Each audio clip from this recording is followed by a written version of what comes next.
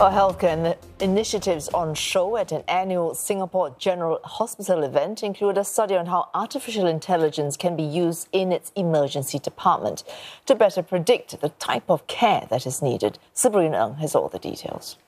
You start do some cough. Reducing respiratory complications for patients after they have gone through a weight loss procedure.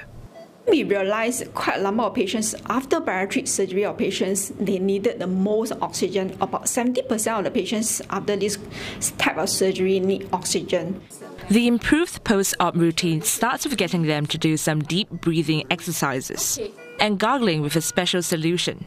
They will also be propped up at an angle.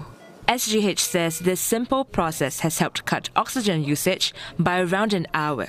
This reduces the hospital's costs by about $1,000 per patient and it's quite significant for you know currently the big crunch in the hospital. If we can discharge the patient early, even four to five hours, I think it's make a big difference. The hospital is also looking into the feasibility of using AI. The model will be used in a clinical trial at its emergency department. It is studying how to tap a patient's data to assess if they're at risk of death or safe to be discharged.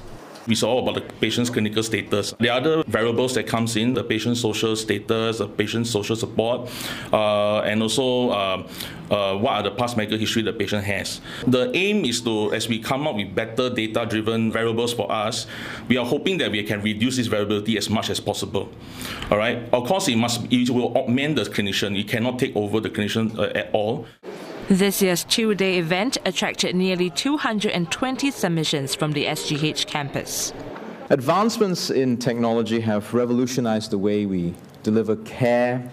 They've, it's enabled us to meet our patients' changing needs, to address challenges posed by the combination of an aging population and a shrinking workforce.